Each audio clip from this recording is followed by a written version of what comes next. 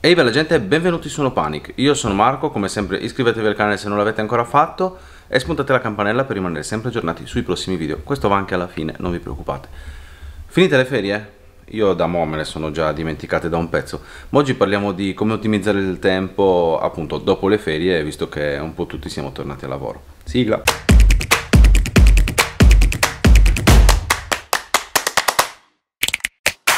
In un'era in cui ormai siamo sempre di corsa, sempre dobbiamo fare mille cose contemporaneamente, ma soprattutto siamo bloccati nel traffico in continuazione,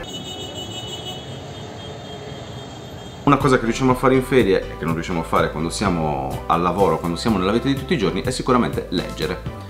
Io una volta leggevo, non tantissimo, non in maniera esagerata, ma leggevo. Mia moglie leggeva un botto. Da quando abbiamo dei figli è diventata un'utopia se la sera riesci a mettere a letto i figli abbastanza presto o crolli senza neanche accorgertene rischiando anche di sbattere la testa per terra oppure ti metti davanti alla tv e crolli pian piano.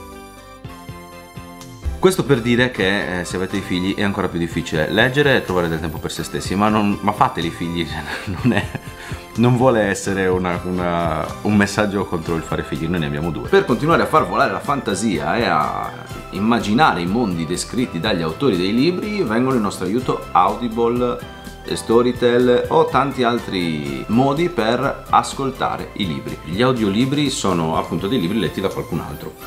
È un modo particolare di continuare a leggere.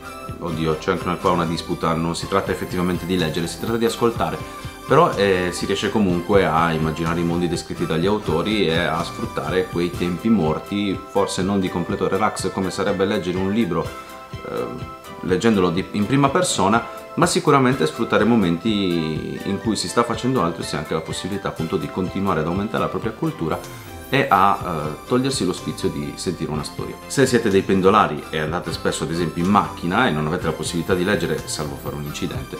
Ecco, ad esempio, mentre si guida non è il caso di leggere, ad esempio, per non mettere in pericolo se stessi e gli altri e neanche di registrare video in realtà. Potete sfruttare gli audiolibri per utilizzare quel tempo tra virgolette morto eh, che altrimenti non, non sfruttereste per far niente se non prendervi il nervoso di essere bloccati nel traffico. Un altro ottimo uso degli audiolibri sono gli audiolibri, gli audiolibri per i bambini.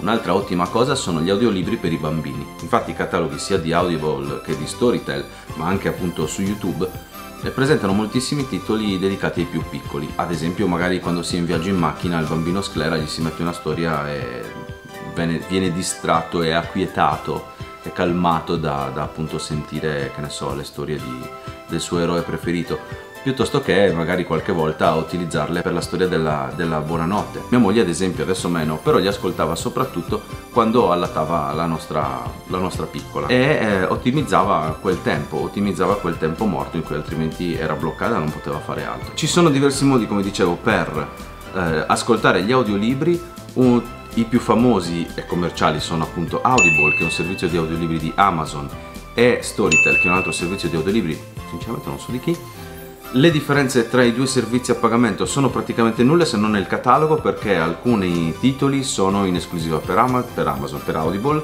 o in esclusiva per Storytel ad esempio. Per il resto bene o male sono simili, il prezzo è di 9,99€ al mese per tutti e due un'altra differenza è che Audible ad esempio ti dà 30 giorni di prova gratuita mentre Storytel te ne dà 14 io uso Audible nello specifico perché approfittai di un'offerta che me lo faceva pagare 7,99 invece di 9,99, risparmio qualche euro al mese. Eh, Audible, essendo un prodotto di Amazon, spesso magari eh, cade cade in promozioni legate, legate, ad Amazon che vuole appunto spingere gli altri sui servizi. Sappiate che Amazon dal commercio elettronico ci guadagna veramente le briciole rispetto ai soldi che fa con altri servizi. Detto questo, quale scegliere? Potete scegliere quello che volete. Se non volete spendere dei soldi ci sono dei modi anche per ascoltarli gratuitamente che non vuol dire scaricarli da internet in maniera illecita come voleva fare una mia collega tale Trotti che saluto, sicuramente ci sta guardando. Ciao Trotti! Ci sono moltissimi audiolibri su YouTube, forse c'è qualcosa anche su Spotify, ma non ho indagato più di tanto sinceramente. Ci sono libri sul sito di Rai Radio 3, che ogni sera, se non sbaglio alle 17, fa un un programma dove appunto trasmette degli audiolibri. Su YouTube ad esempio però il problema è che se non hai l'abbonamento a eh, YouTube Premium devi tenere aperto YouTube e soprattutto devi, eh, devi consumare la connessione dati. Se sei in un posto dove non prende questo potrebbe essere un problema. Il bello ad esempio invece dei, delle app di cui parlavo prima, uh, Storytel e uh, Audible, è che appunto non, non, consumi giga perché quando scarichi, decidi di scaricare quel titolo ti viene scaricato in locale e quindi puoi ascoltarlo anche se non hai connessione. Un altro servizio di cui vale la pena parlare per i libri più però di business è um, ehm, 4Books, che è una startup, un'azienda uh, del famosissimo Marco Montemagno, che andrò a taggare tanto non lo guarderà mai questo video, che appunto ti dà la possibilità di leggere, tra virgolette, o meglio ascoltare sempre, tra virgolette, eh, dei libri condensati, nel senso che 4Books riassume i concetti dei libri di business per renderteli più, più veloci da sentire, da memorizzare e quindi ti riepiloga in pratica delle pillole dei libri, se non sbaglio in 20 minuti, una roba del genere. È un servizio che sinceramente non ho provato, chiedo venia, ma lo proverò. Ne parlerò magari su Instagram. In Italia il trend degli audiolibri è in netta crescita, così come quello dei podcast. Sui podcast magari faccio un altro episodio. Comunque sono una cosa simile, sono sempre delle, delle cose da ascoltare, ma non è una narrazione eh, come quella della lettura di un libro. Dicevo, il, il trend è in netta crescita, eh, anche se non ancora ai livelli di Stati Uniti e altri paesi, e ad esempio in Germania ci sono addirittura degli spettacoli come dei concerti dove ci sono degli autori che leggono. Dove voglio arrivare quindi oggi? Voglio arrivare al fatto che appunto se eh, volete, non avete tempo di leggere ma volete comunque eh, continuare a, ad ascoltare, a far volare la vostra fantasia come ho detto prima e a farvi una cultura, perché ricordiamocelo, i libri sono cultura, potete sicuramente trovare un alleato negli audiolibri. Magari iniziate con YouTube che può essere gratuito. Eh, eh, ci mancava il cane.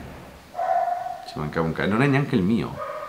Scrivetemi nei commenti se già lo utilizzate, se vi piace, se l'avete provato e vi è piaciuto o non vi è piaciuto. Insomma, fatemi sapere nei commenti. Iscrivetevi al canale e spuntate la campanella se non l'avete ancora fatto per rimanere sempre aggiornati sui prossimi video. Noi ci vediamo al prossimo video. Volevo dire un'altra cosa. Iscrivetevi, lasciate un commento. Ah sì, se il video vi è piaciuto mettete un like qua sotto.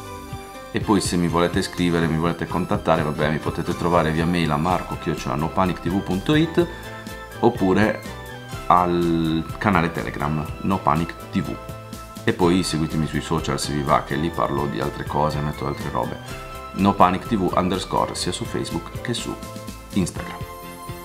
Ciao abbiamo una bella storia.